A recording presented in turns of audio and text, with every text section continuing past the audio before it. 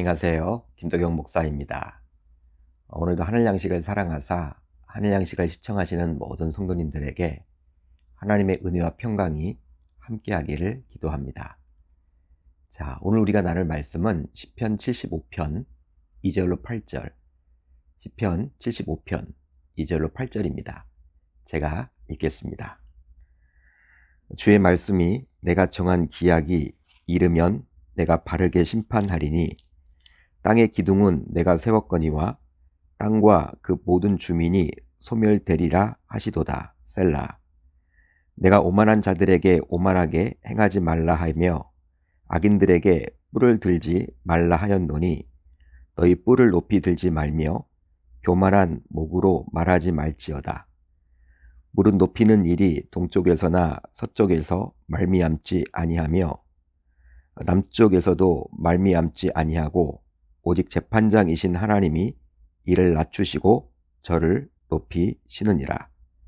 여호와의 손에 잔이 있어 술 거품이 일어나는도다. 속에 섞은 것이 가득한 그 잔을 하나님이 쏟아 내시나니 실로 그 찌꺼기까지도 땅의 모든 악인이 기울여 마시리로다. 아멘. 하나님의 말씀입니다.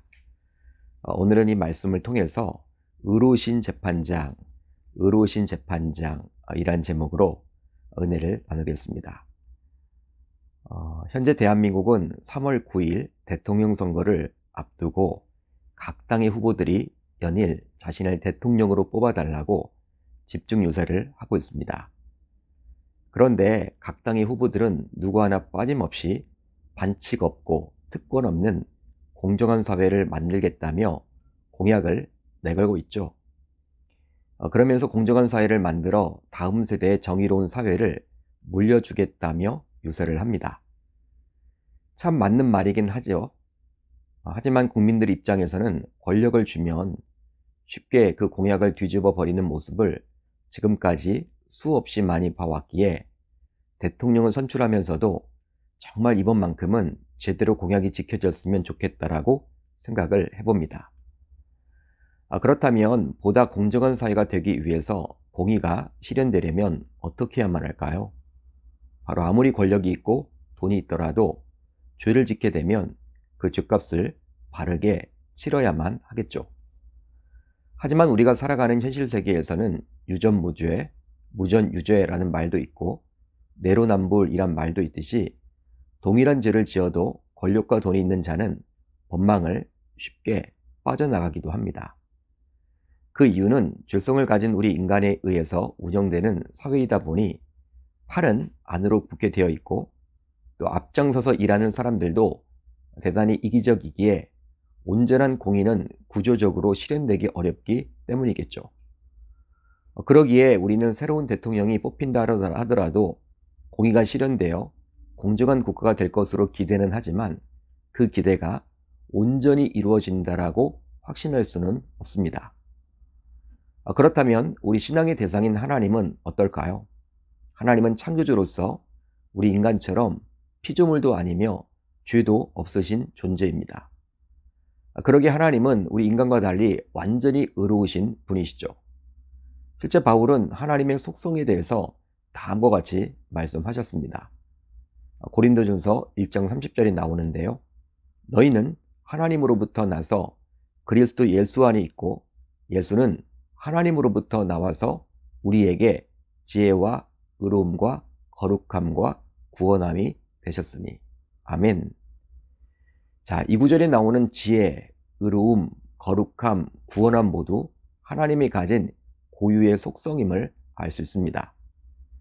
아, 이처럼 의로움은 오직 하나님만이 진정으로 행할 수가 있는 것이죠. 그렇다면 이 의로움은 주로 어떨 때 필요할까요? 바로 시시비비를 가리는 재판과 판결을 하는 재판장에게 필요한 덕목이라 할 수 있습니다. 아, 그러다 보니 재판장은 다른 누구보다도 더 의로워야 하겠죠. 이유가 있다면 돈에 따라, 친분에 따라, 자신의 정치적인 성향과 이념에 따라 판결이 달려져서는 아니 되기 때문입니다. 아, 그래서일까요? 예수님께서도 누가복음 18장에서 과부와 재판장의 비유를 말씀하시면서 이 재판장을 가리켜서 불의한 재판장이라고 이야기를 했던 것이죠. 따라서 불의한 재판장은 더 이상 재판장이 아니라는 의미를 담고 있습니다. 반면에 10편 7편을 보게 되면 시인은 하나님에 대해서 다음과 같이 말씀하셨죠. 하나님은 의로우신 재판장이심이여 매일 분노하시는 하나님이시로다. 시인은 하나님께서는 의로우신 재판장이라고 말씀해 줍니다. 하나님께서 의로우신 재판장이니 분명히 공정한 판결을 할 것이라고 우리는 생각해 볼 수 있겠죠. 자, 이제 오늘 우리가 살펴볼 10편 75편을 보게 되면 그 의로우신 재판장이신 하나님께서 과연 어떻게 하실지에 대해서 시인인 아삽은 말씀해 줍니다. 실제 우리가 어제 살펴봤던 10편 74편을 보게 되면 시인인 아삽은 하나님을 왕으로 그려주고 있다면 이제 오늘 우리가 살펴볼 10편 75편은 하나님을 재판장으로 그려주고 있죠. 오늘 말씀 2절을 보세요. 2절을 보면 이렇게 나와 있습니다. 주의 말씀이 내가 정한 기약이 이르면 내가 바르게 심판하리니. 내가 바르게 심판하리니. 또 있습니다. 오늘 말씀 7절을 보시면 오직 재판장이신 하나님이 이를 낮추시고 저를 높이 시느니라. 오직 재판장이신 하나님. 그러기에 의로우신 재판장이신 하나님이 과연 어떤 분인지 시인은 오늘 말씀을 통해서 저 여러분들에게 말씀해 주십니다. 그렇다면 의로우신 재판장이신 하나님께서는 과연 어떻게 판결하실까요? 바로 하나님의 경고와까지도 무시하고 끝까지 오만한 자들에게 진노의 잔을 쏟는 심판으로 판결하실 것입니다. 더욱이 한 방울도 남김없이 찌꺼기까지 다 마시게 할 만큼 철저히 심판하실 것이라고 분명히 언급을 해주고 있죠. 자, 오늘 말씀 8절을 볼까요? 다음과 같이 나옵니다. 여호와의 손에 잔이 있어 술 거품이 일어나는도다. 속에 썩은 것이 가득한 그 잔을 하나님이 쏟아 내시나니 실로 그 찌꺼기까지도 땅의 모든 악인이 기울여 마시리로다. 이 구절을 보시면 하나님의 손에 잔이 있다라고 했습니다. 이 잔은 심판의 잔을 뜻하는데요. 또 술거품은 하나님의 진노를 상징한다 볼 수 있죠. 그 잔을 하나님께서 쏟아붓게 될 텐데 그런데 놀랍게도 땅의 모든 악인들이 들이키고 들이켜 결국 그 찌꺼기까지 모두 마시게 된다라는 것입니다. 바로 의로운 재판장이신 하나님의 판결은 찌꺼기까지도 모두 악인으로 하여금 마시게 할 만큼 봐주는 것 없이 철저히 심판하시겠다라는 것이죠. 이것은 우리 인간의 의로움과는 차원이 다른 완전한 의로움을 가진 하나님의 판결이기에 가능한 것입니다. 즉 자신에게 아무런 유익을 가져다 주지도 않았던 과부였기에 그녀의 재판을 우습게 여기면서 그녀의 재판을 하지 않으려 했던 불의한 재판과는 분명히 다른 판결임을 알 수 있죠. 그렇다면 이 악인은 어떤 종류의 악을 저질렀던 것일까요? 실제로 오늘 말씀을 계속 묵상해 보면 이 악인들은 오만한 자들을 가리키고 있음을 알 수 있습니다. 내가 오만한 자들에게 오만하게 행하지 말라 하며 악인들에게 뿔을 들지 말라 하였노니 너희 뿔을 높이 들지 말며 교만한 목으로 말하지 말지어다. 악인들에게 뿔을 들어 올리지 말라는 경고는 높이 들지 말라는 경고로 강화되었고 오만한 자들에게 오만하지 말라는 경고는 교만한 목으로 말하지 말라는 경고로 한층 강화되었습니다. 따라서 이 시행의 배열을 통해서 하나님께서는 오만한 자들과 악인들을 평행 관계로 설정하여 동급으로 취급하고 계심을 알 수 있죠. 어, 그렇습니다. 우리 하나님께서는 오만한 자, 즉 거만한 자와 교만한 자를 가만 놔두지 않으십니다. 어, 그렇다면 그 이유는 과연 무엇 때문일까요? 바로 오만하게 되면 자신이 주인임을 인정하지 않게 되고 그 결과 복음도 거부하기 때문입니다. 실제로 전도를 나가서 복음을 전하다 보면 자신이 주인임을 인정하지 못하는 경우 더 이상 복음을 전할 수 없게 됨을 알 수 있습니다. 그러다 보니 오만한 자는 예수님을 진정으로 만날 수도 없죠. 물론 교회도 다니며 나름대로 신앙생활을 할 수도 있겠지만 예수님을 인격적으로 만나지는 못하게 됩니다. 그러기에 하나님께서는 이 오만함, 즉 교만함을 가장 싫어하시죠. 즉 뭐라 할까요?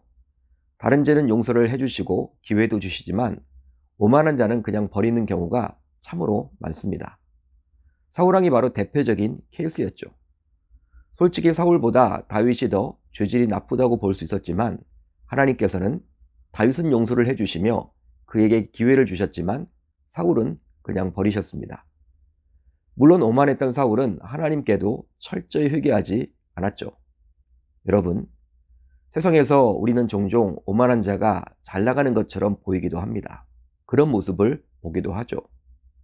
하나님을 믿지도 않으면서도 우리 신자들보다도 더 똑똑하고 더 가진 것도 많아 보이기도 하고 실제 성공하는 것처럼 보이기도 합니다. 그래서 어떨 때는 하나님을 믿는 우리 신자들조차도 그 오만한 자를 부러워하기도 하죠. 하지만 분명한 것은 하나님의 때가 되면 하나님께서는 반드시 심판해 주신다는 사실입니다. 오늘 시인은 그 약속을 분명히 말씀해 주고 있죠. 주의 말씀이 내가 정한 기약이 이르면 내가 바르게 심판하리니. 아멘. 하나님께서 정한 기약에 하나님께서 반드시 바르게 심판해 주신다라고 분명히 시인은 저와 여러분들에게 말씀하셨습니다. 하나님께서 높이기도 하시고 낮추기도 하심으로 말이죠. 자, 오늘 말씀 6절로 7절을 볼까요? 이렇게 기록이 되어 있습니다.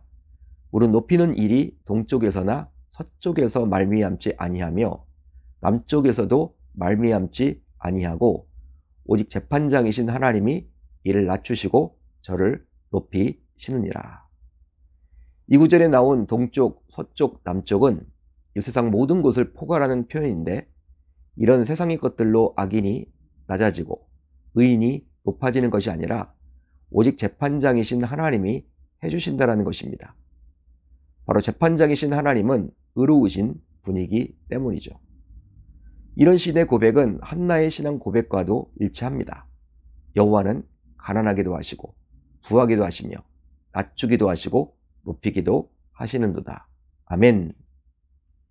따라서 이 세상에서 악인들, 주인들, 오만한 자들이 잘 나가는 것처럼 보여도 하나님의 때가 되면 반드시 하나님께서는 그들은 낮추고 의인들을 높여주신다는 사실을 기억하사 이제부터 우리 모두 그 하나님께 모든 심판을 맡기며 올 하루도 힘내서 살아가야 할 줄 우리 주님의 이름으로 축원합니다. 축원합니다. 바로 이 세상에 감히 주지 못하는 진정한 의로움을 우리 하나님께서는 저와 여러분들에게 주실 수 있는 유일한 존재이기 때문이죠. 자, 오늘 우리 공동체가 함께 나눌 기도 제목입니다. 두 가지가 있는데요. 첫 번째로는 우리가 믿는 하나님은 의로우신 재판장으로서 공의로 심판하심을 꼭 기억해 하소서. 다음으로 3월 9일 대통령 선거를 통해서도 하나님의 뜻이 이루어지게 하소서. 오늘 하루도 말씀을 붙잡고 기도하는 가운데 우리 주님의 생명의 음성을 듣는 저와 여러분들이 모두 되셨으면 좋겠습니다.